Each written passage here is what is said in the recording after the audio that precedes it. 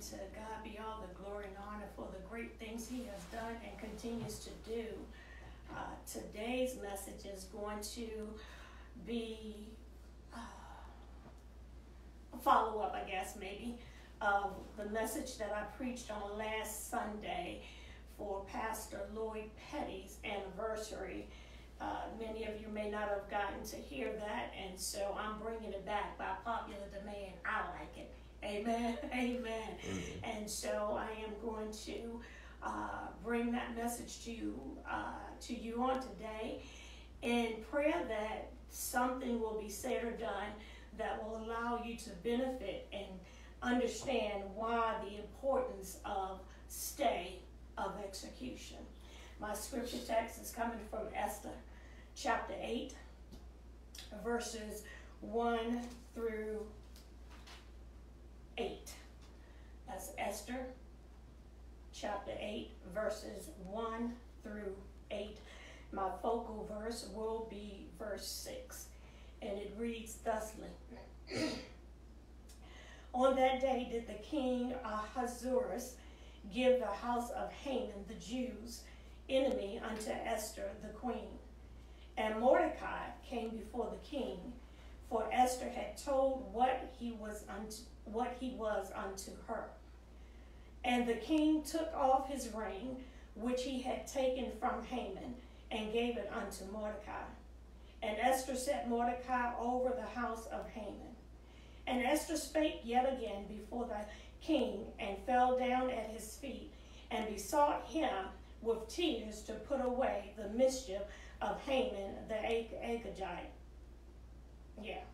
And his device that and his device that he had devised against the Jews. This is the King uh, King James version. Then then the king held out the golden scepter towards Esther. So Esther arose and stood before the king and said, "It is it, if it please the king, and if I have found favor in his sight, and the king seem right before the king, and I be pleasing in his eyes." let it be written to reverse the letter letters devised by Haman the son of Hammedatha, the Agagite, which he wrote to destroy the Jews, which are in all the king's provinces. For how can I endure, and this is verse 6, for how can I endure to see the evil that shall come into my people? Or how can I endure to see the destruction of my kindred? Then the king Ahasuerus said unto Esther, the queen, and to Mordecai, the Jew, Behold, I have given Esther the house of Haman, and him they have hanged upon the gallows, because he laid his hand upon the Jews. Write ye also the Jews as it liketh you, in the king's name, and seal it with the king's ring for the writing which is written in king's in the king's name and sealed with the king's ring may may no man reverse. Amen. Amen. To god be all the glory. We understand the story of esther whereby she was an orphan and her uncle mordecai uh, was taking care, became her caregiver.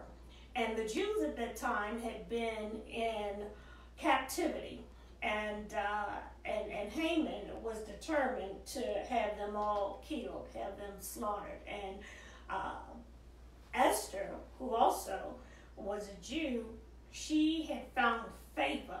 God had created her for such a time as that. That when Queen Vashti did not want to please the king, he said, okay, I'm going to send her back, paraphrasing, and let's bring in some of her handmaidens.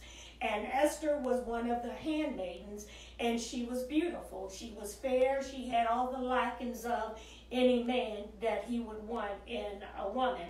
And so, one of the things with the king, if you were to if he put his scepter out there, and you touched it, if he did not kill you, then that was a good thing. And so Esther had favor with the king. And so that opened up the ability for her to be the one while the people were uh, at hand of being executed, she was able to save the people.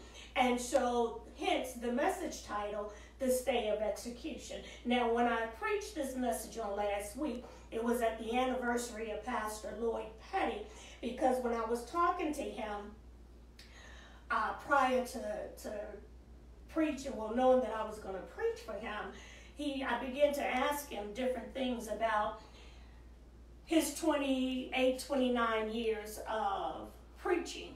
And one of the things that he said to me, which caught my eye, was that every time he goes before the people, he feels as if he's preaching a state of execution.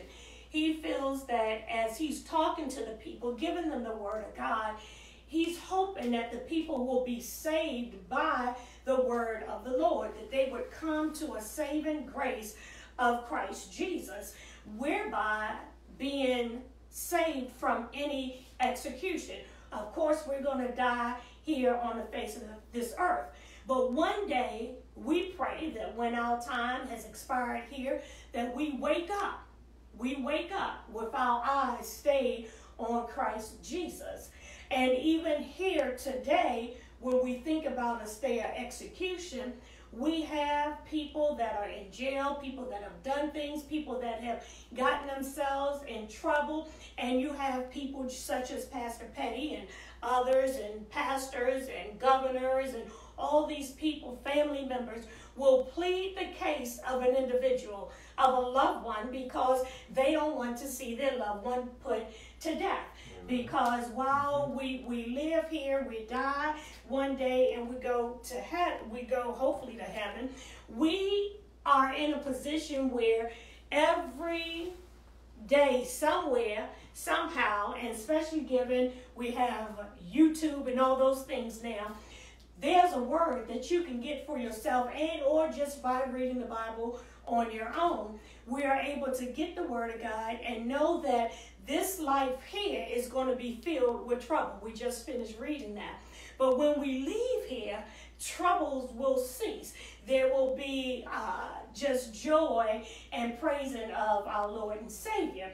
But here, we're going to go through some things. We're going to go through things whereby sometimes our voice won't be enough. Sometimes we're going to need other people to speak on our behalf. Mm-hmm. And so every time a pastor, a preacher, a leader, whoever it is that's talking to the people comes before the people to speak the words of the Lord, they are in essence given an opportunity to stay the execution. What stay the execution? For right now, it could be to stay the execution that you would have life and life everlasting through being saved. So many people don't understand that there is no purgatory. There is uh, no someone else is going to die and they're going to be able to take care of your sin. No, we all are responsible for accepting Jesus as Lord and Savior. As today is, we've just gone through the general confession. Uh, Jesus went to the cross. So he stayed the execution for all of us. He gave us an opportunity to be saved, to be set free.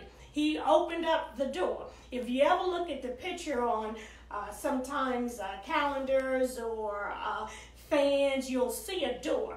And, and the picture of is supposed to be Jesus standing there. But if you notice, the, the door does not have a knob on the other side. That's because Jesus is a free will God.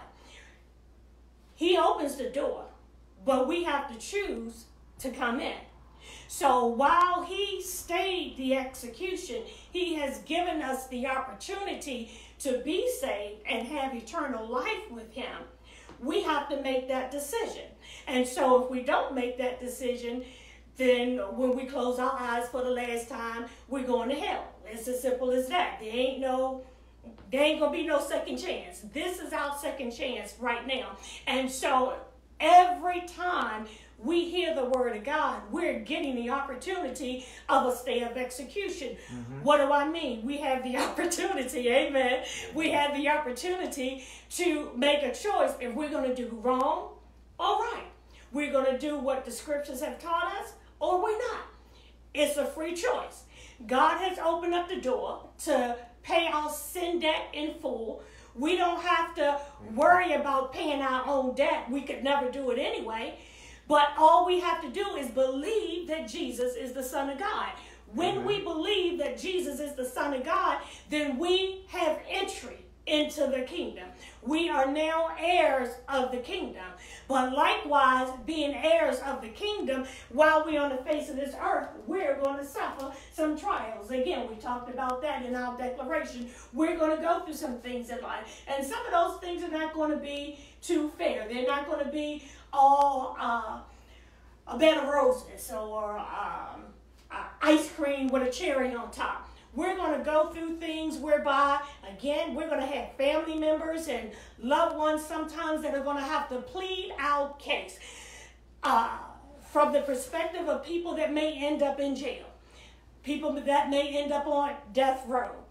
They are just marking off the days as they go by because a set time has been made for them to go to. Uh, there was a police uh, in the uh, the pastor's brother uh, is a DC policeman, so he told me that they don't do the gas chamber; it's just a lethal injection now. So you're gonna either get the lethal injection or you have a heart attack before they get a chance to do it. But they're gonna put you to death. And so your family members and loved ones are pleading your case. And what we have to do what God expects us to do is once we have heard the word, then we have to, if somebody is willing to go to bat on our behalf, if somebody is willing to go to the cross so that we don't have to worry about paying a debt that we cannot pay, or somebody is trying to, to fight for us to have another opportunity, what is our job? I'm glad you asked. Our job is to show how bad do we want it? Mm-hmm. How much do we appreciate it? In the case of Jesus Christ, all we have to do is believe that Jesus is the Son of God. Amen? Mm-hmm. That's what we read in the declaration. When it comes down to folks that are having a plea for a stay of execution that are on death row, they have to be able to show the governor, show the warden, show all of these people people and certainly be praying at the same time that, Lord, if you give me just one more opportunity, I promise you I'm going to do right. But how many of us just take it lightly the idea that there is a hell? There is a heaven and we're going to one or two places and we're not going to always have an opportunity to get it right so we have mm-hmm. to seize the moment right now to say lord i am determined. I got a made up mind. I'm going to prove to you how bad i want it. I'm not going to let your labor be in vain. Mama i love you. I, i'm glad you keep going up to that courthouse. Daddy i appreciate everything you're doing trying to convince that judge that i'm going to do right. I'm going to show you that i'm going to do right. You have to show these people just how bad you want there to be a stay of execution. Well, likewise for Jesus, amen. God is only asking us just to believe. And if we believe, God, that Jesus is the Son of God and that He went to that cross, that He died on behalf of our, our sin debt, a sin debt that we could not pay for ourselves, and that He rose from the dead and now sits at the right hand of God the Father, then we are saved. We have the right to the tree of life. Then that means that we're going to do whatever we can to be pleasing unto God's sight. Does that mean we're going to get it right every day? Does it mean that everything we do is going to be perfect? No, it does not. Life is going to happen. That's why Jesus came, because it is impossible for us to live in this world and be sinless. Things are just going to happen. So we need grace. And when we accept Jesus as Lord and Savior, we receive His grace, for His grace is sufficient. But we won't know that grace unless we read the Word of God. And when we read the word of God, because the Bible tells us to renew our minds daily. By renewing our minds daily, we're going to begin to find out what are the precepts and the principles of having a sanctified life with Christ Jesus. One by where I'm going to go through some stuff. But at the end of the day, I know I'm victorious in Christ Jesus. At the end of the day, I know that it's going to be okay. If you ever heard my story, at the end of the day, you know that instead of being in a 4x4 with a, a, a straight jacket on, hitting my head up against the padded walls, I'm here today to tell the story. Amen? Amen. Because why? The God that we serve, He has granted me a peace and a peace that surpasses all understanding. And because he's a God that he has no respect of person, what he's done for one, he'll do for another. So that same God, while we're going to go through troubles, here's how I like to picture it. Trouble is all around us. It's all around us. It's everywhere. But God is holding us. And that trouble can't do no more than what God allows. Just as Job was. Job lost everything. Job said, okay, and I'm paraphrasing, though he slay me, yet shall I trust him, because I know my God shall vindicate me. Amen. He knew because he had already witnessed and had relationship with God to know that God was not going to see him completely out. And we know the end of Job's story. He was given double for his trouble. Amen. And so when we look at our lives, there is nothing even as I look back on what this family has experienced and how we've been fighting to save this home, my childhood home, it has been my children, my baby boy, to come along and to save the day. Amen. It didn't happen by accident. It took me doing what God's word has declared I do and raise them up right, train them up right, teach them what it is to know and understand not just about life, but about money too, about a good credit, that life is going to happen. We have to band together. We have to come together. That is what's happening in the word of God. God's word is love, and it's teaching us the things that we need to know in order to stay the execution of this world because it's going to come. It's going to happen. Earlier today, I was speaking with someone, and I said, you know, we were t- just talking about some things, and she brought us something about, you know, I, I was telling someone about how, you know, they just got to learn not to worry about everything. You know, you know who you are. And I was thinking, man, I said, you know what? You talking to me and you just don't even know it. Mm-hmm. I said, because I, I'm praying. I am praying so much that I can, be, you know, it, it's easy for you to say a thing. I can easily say, you know, oh, you can say what you want to say. tell it to the hand because the ears ain't listening. You know, oh, it's just like water off a duck's back. I can say that. But this heart of mine is aching. And so I said, you know what? I have been asking God, God, give me what I need so that when the enemy rises up against me, especially when it's your family, that I can really not be hurt by. Because it hurts when those that you think supposed to love you, when they, they turn against you or they you you think because they say they're doing one thing, they praying for you, but the reality of it is, is that their prayers are not for you, but against you. And when you know that to be so, because they bold enough in their narcissism to say that that's what they're doing, it just hurts. And I said, you know, I know that God is still with me. I know that God is present with me. I know that God is keeping me because He keeps giving me victory. But I want to get to that place whereby I know beyond a shadow of a doubt that even when I hear something, that God will do something where maybe something is, maybe an airplane comes over and I don't even hear what they say. And so it doesn't affect me. I, I, want something because it's a bad thing when you know that there's a group of people that is out to get you. That there's a group of people that while they say one thing, that there's a, a, a, a song many years ago, smile in your face all the time they want they want to take your place. They call backstabbers backstabbers. That's what they do. So you really can't trust those people. But who we can trust is God. Because this is what my therapist said. She said, stop worrying about what you can change.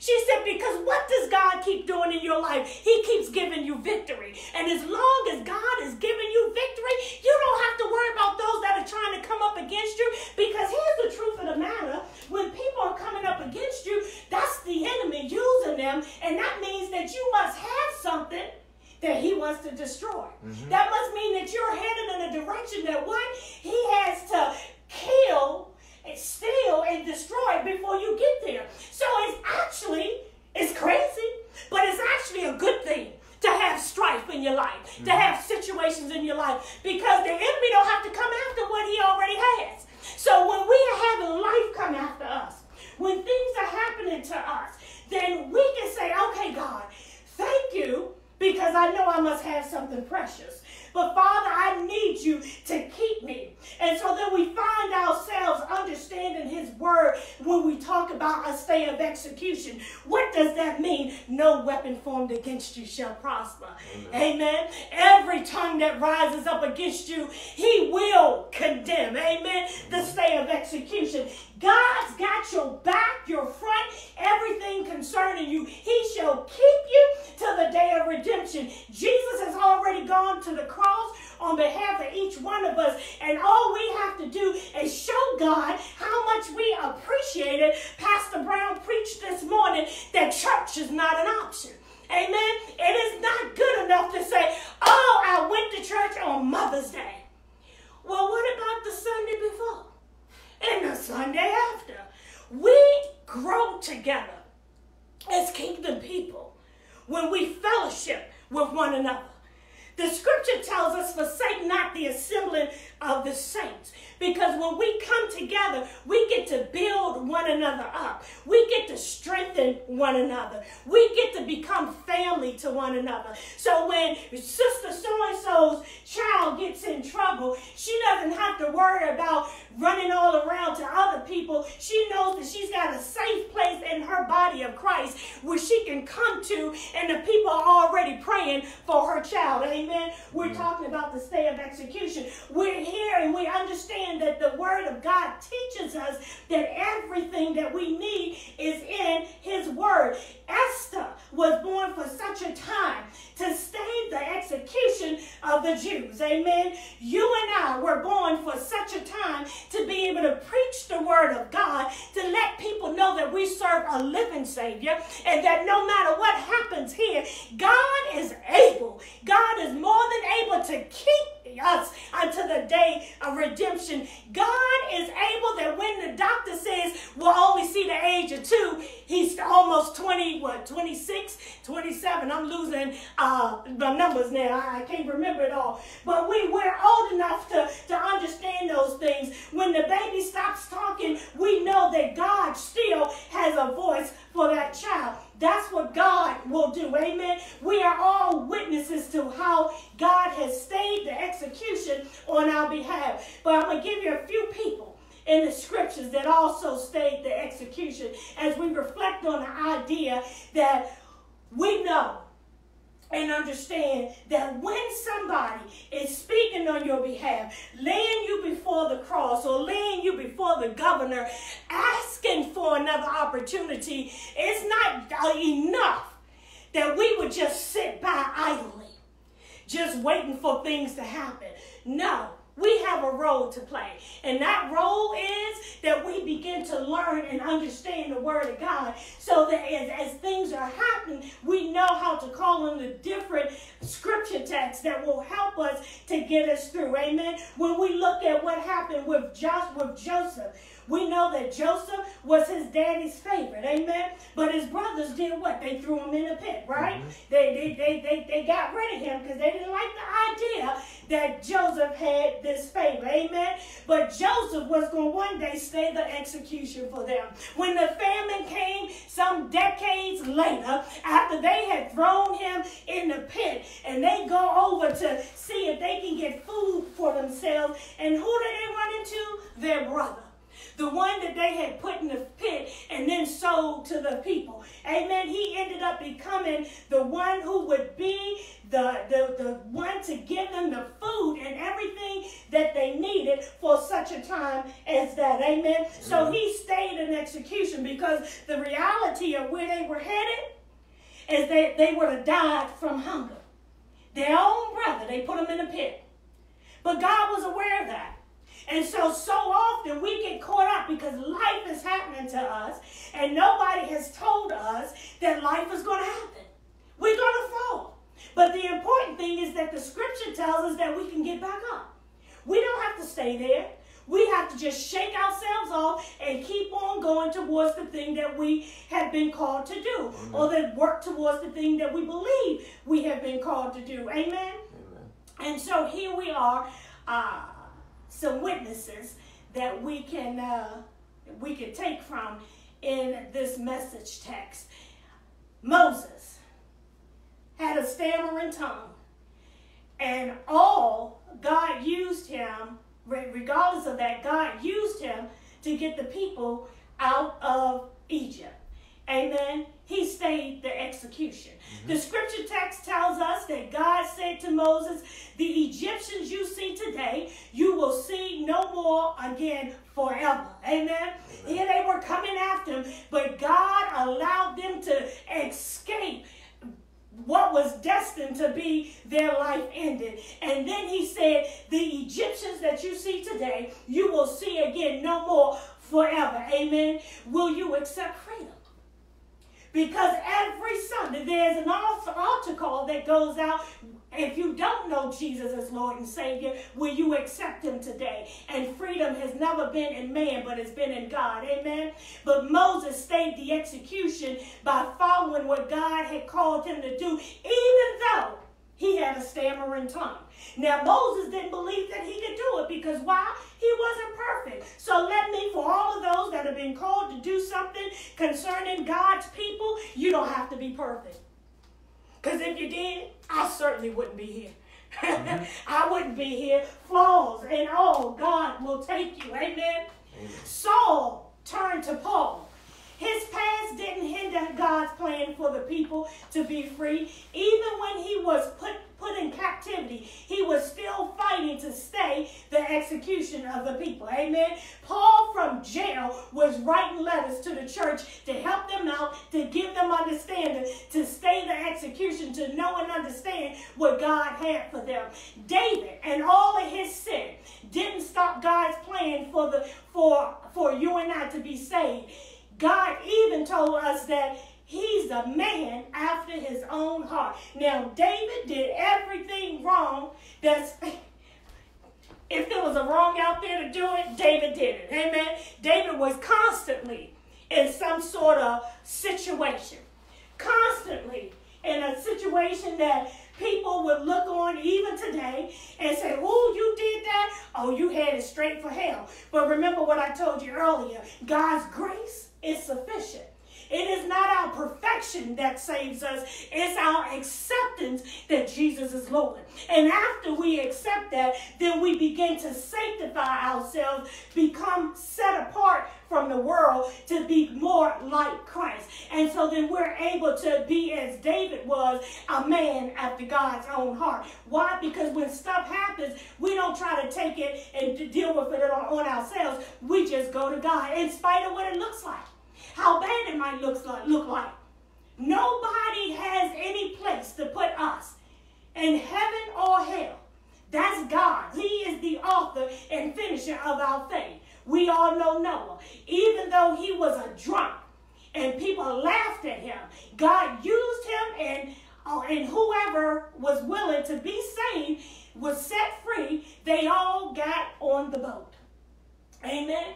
The story goes like this. My mama would tell me when I was little, you know how Noah built the ark? And I would say, yeah. And she would say, how? And I start talking about how he put the pieces together. And she say, no, he was able to build the ark because he followed the instructions. So when we follow the instructions, what are the instructions? What are the instructions? The instructions is that we are to understand that we are set aside people.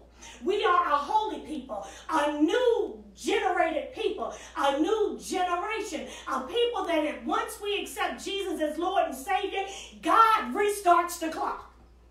He says that I throw your sin into the sea of forgetfulness to never re remember anymore.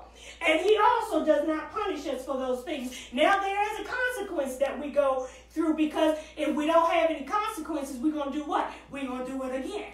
But Jesus throws it all into the sea of forgetfulness to remember it no more. So regardless to what was going on with Noah, God, because he was obedient to what God had called him to do, he was saved and all of those that followed him. Amen. So we have to know when, who, who do we want to hang out with? You know, there may be this crowd that seems to be doing really, really good, and they might be the popular ones. But if they popular and headed straight to hell, I don't think you want to be with them. But if you're with some people that are going someplace and then even more so, they want to even help you to get where God is taking you. Crowd you want to uh, be a part of. I say it all the time. I like when I heard Jasmine Skerlock say, you know, do like T-Mobile. Sometimes you have to just take your phone, scroll, select, and delete some people. Everybody can go where you're going. Amen? Amen. Gideon. Gideon was used, even though he was afraid. Gideon was very afraid. He was scared. And, and to prove God was with him, God said, even though you had all of these men, over 3,000 men, God took him down to 300. Amen. He stayed the execution. So God, even though we might look, might not feel like we have everything it takes, we see that in the Bible, He used people like Paul, people like Moses, people like uh, Gideon. He, all of the folks that that are what? They, they're not what they think they should be in order to do the task that God would have them to do. But yet, those are the ordinary people that God uses every day to do extraordinary things in the lives of the living, in the lives to be to pursue people, to cause people to want to be saved. Amen. So Gideon had to take those people, those numbers down. He had to get rid of some of the men. But everybody can't go again where you're going. The woman at the well, in her adulterous lifestyle, she ran and told others about a man who has opened up the door to receive a stay of execution. She said, Let me tell you about a man who told me about everything about myself. She was taking that word. What is she saying? What is this this particular scripture text? How does it speak to you? If I give you something good, if I give you a way to, to, to be able to be better, to be made whole, you don't keep it to yourself. God causes us to evangelize. He chooses us to go out there and share the good news of Jesus. That's why the Jehovah's Witnesses and the Muslim, all those people, they do a much better job at witnesses on the behalf of a God that they got to save. Our God, we don't have, they can't even find a grave site for Jesus. All we have to do is believe. But folks like them, they go out and they do more for witnessing than the Christians will do. We ought to go out there and witness so that others may come to know who Christ is. So they too will be in a posture of having a stay of execution for their lives. Amen. Because the reality of it is, is so much, so many of us, we think that we are so lost that there is no hope. But it's in that very, very lost place where God does more for you than you could have ever, ever imagined. So, what say you when it comes down to a state of execution? Did Jesus go to the cross just for nothing? Did Jesus go to the cross on behalf of our sin debt? That we would just take it for granted and never ever use our mouths to say, Lord, I receive you. I believe that you are Lord and Savior. Lord, I do trust and know that you are the Son of God. Lord, I believe that you sit at the right hand of God the Father. Or do we want to say, well, I'm not sure. So I'll just roll the dice. Well, some things I wouldn't play with. And my salvation is one of them. And here's my theory on it. You ain't got nothing to lose. There is nothing to lose in accepting Jesus as Lord and Savior. There is a whole lot to lose if you roll the dice and you go the other way. Because once you have closed your eyes, once I have closed my eyes for that last time, there ain't no do over. Whatever's going to happen, happens in that twinkling of an eye, that exact moment in time, wherever you're going to spend eternity, it's done. That's it. Ain't no raising your hand like you're in the classroom, teacher, teacher, can I have a do-over? Nope. It's done. So what we want to do in a place where Jesus has gone to the cross on our behalf is that we want to accept him as Lord and Savior. We want to accept him as the one who has not only has he died for our sin debt and paid the price in full, but he's put people, pastors, preachers, and teachers, other leaders, other laity of the ministry in our pathway that we would come to know who Christ Jesus is. And in doing so, it's up to us what we're going to do with it. If we decide that we don't want to accept Jesus as Lord and Savior, then when times get hard, don't be mad with the folks that tried to help you because we have to make the decision. One of the moments that opened up my eyes was I was at uh, this this mall in, in Maryland called Iverson Mall. I was coming out of there, I don't know what I was in there for. But anyway, this this lady, she was passing out these flyers about uh, a gospel program or something that was going to happen.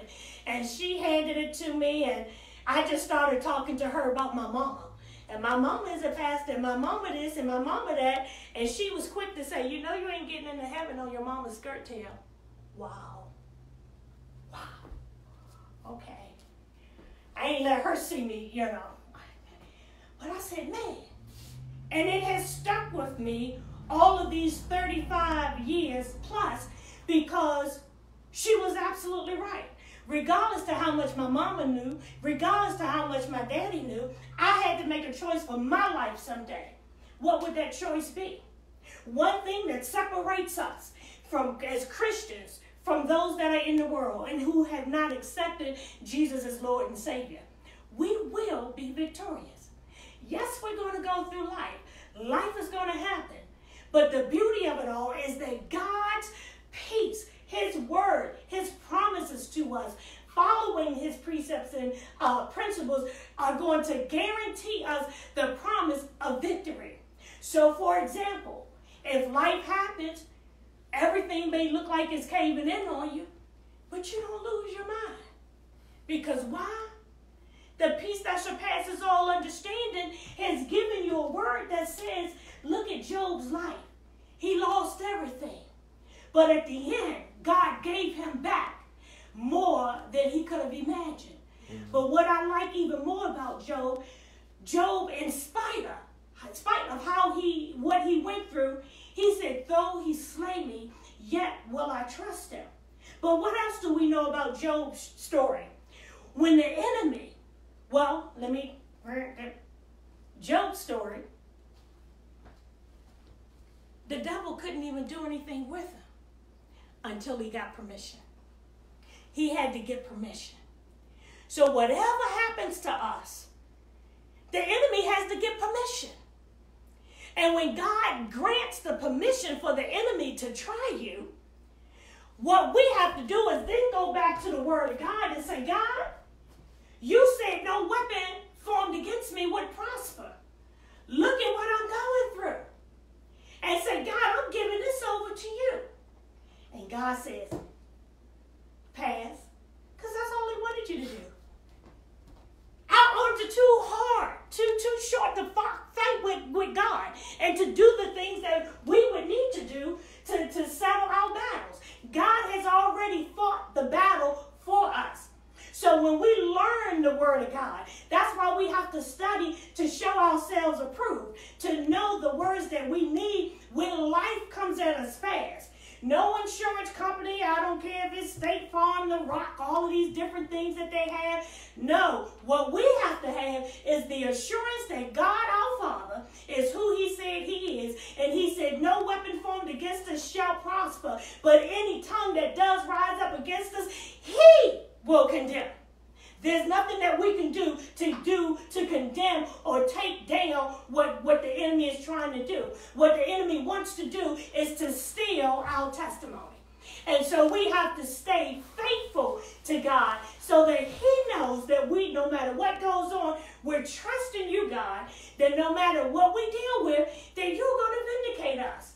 So we don't have to worry about what's going on around us. We don't have to worry about, oh yeah, I don't have enough money for, for the bills. I, I was listening to Pastor Brown uh, preaching uh, this morning in, in the Maryland location and some of the other preachers that I was listening to this morning and everybody was talking about money. And I said, thank you, God, because that's the thing that I that's been on my mind. Because what, what we fail to understand is that God does not need us.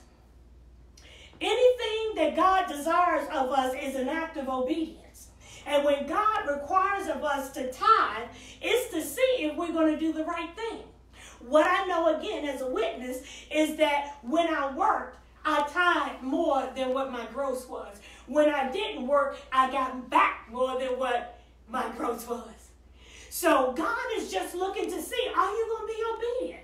Are you going to do what I've asked of you? Because when we are faithful to be obedient to the word of God, He's certainly, he, God is bound. He has to do what He said He's going to do.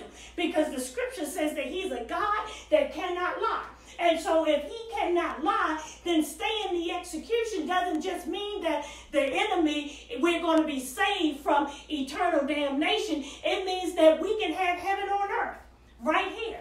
That there's nothing that's going to prevent us from having everything that we need to survive here on the face of the earth. Amen. So I pray today that we understand what it is to have a stay of execution, but more importantly, what does it mean? Does it mean that, oh, I got a stay of execution? I'm so happy. I don't have to worry about that no more. And can't wait to get home to watch the stories. Duh. Because if you don't do what you need to do, to accept Jesus as Lord, to recognize what you have been through, do you know what's going to happen? If you have not been delivered or whatever put you in a situation to need a stay of execution, you're going to get back there again. And the next time, you might not be so lucky to get a stay of execution because they're going to go back and they're going to say, wait a minute, on January 1st, so and so was released. But on March 1st, he was sent back in. She had to go back. Not even a couple of months, they were out there doing the same thing again. Well, this time, they to die for sure. And they put them right back there in that state of execution. Now, Jesus doesn't work that way. Once you have accepted Jesus as Lord and Savior, you're saved. Now, what you do to be sanctified and receive everything that God has for us as part of kingdom living, because the Bible tells us that we can have heaven on earth. And that's how we have to have our mindset, have an expectancy of having heaven on earth. But if you and I stay just right around in here, because this is our sweet spot, that comfortable place for us, then nothing more and nothing less is going to happen for us. So, what we want to do with life is all on us. There was a song many years ago life is what you make it. But we have to make up our mind that just as what Esther did in the story of Esther, she ran the risk as a Jew to save the people. And she even said at one point in the scriptures, if I perish, let me perish. But she's going on in because she was created for such a time as that. And because God had created her to do that, then God's name was on the line to protect her. The same with us today. God allowed us to be here in this time frame. God is the one that has allowed us to be here for whatever the purpose may be. It's up to us to seek the face of God to know why we're here and, and, and continue to seek his face until we find out exactly what his plan is on how to use us. And, and, and well, that's another message. We'll talk about that another time. But anyway, the stay of execution. Seize the moment, the moment in time that we all have the opportunity to make a, a decision for life and not death. God came that we would not just have life, but life more abundantly. And so today we can make that decision. That decision comes with accepting Jesus as Lord and Savior. For those that may have backslidden, that just comes with repenting and knowing that Jesus is Lord. And because He is Lord, He is faithful to forgive you and I and, and give us the ability to get right with Him. And then we have to determine in our minds that we're going to stay right with the Lord so we can continue to move forward in the things that God has called us to do. Amen. For those that have come on, I appreciate you spending this time with us. Certainly, you are saved, uh, I believe, because I, I don't know what the weather is like in Maryland, but here is pretty nice and well, I don't know what time it is, but I know it's about maybe four o'clock, might be getting close to at this point in time. You're watching me, then you must have some desire for Christ Jesus. We thank you for spending this time with Run and Shout in uh, the state of North Carolina, in the city of Fayetteville. We pray that if you're ever in the area, that you would come around. Three o'clock is the service time. Be a part of what we're doing here. And in Maryland, the service starts at 11 o'clock every Sunday at the Bowie-Town Center Shopping Center, the Safeway there by the floor department. Amen. It's 4101 Northview Drive. Amen. Go to our website for those that have been feeding and uh, giving tithe and offering to us. We appreciate it. Go to our website and you can see all the great things that you're doing. We've already begun feeding and taking care of those here in our schools in North Carolina. But you will be able to see those things. It's Run and Shout Ministries, the number one dot org. Amen. God bless you. We pray to experience you this time next week. And uh, until then, stay saved. Amen.